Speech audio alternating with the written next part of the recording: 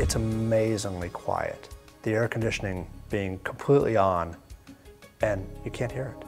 And that so many times you have to go, oh, well, we have to turn the air conditioning off so we can record just because it's too loud. And that's not the, not the case at Green Slate. You gotta have enough air conditioning.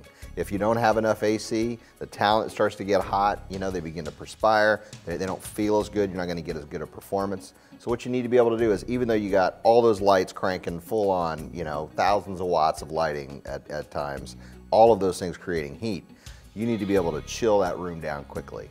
You know, there's space requirements, money, and thought that goes into the design. That always becomes apparent as soon as things get quiet. When no one is paying attention, everything's fine. But as soon as everyone, you yell quiet please, and the, the silence settles in, and that's when all the, the flaws become apparent.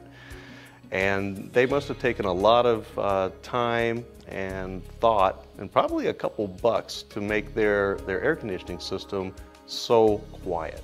I've never had to, to try and uh, EQ that out or do anything. So someone took some time and put some thought into that. I think air conditioning is one of those things that's really easy to sort of gloss over when you're creating a studio and to maybe not spend the time and the care that's needed. And that's one thing I appreciate about Green Slate, they did it right.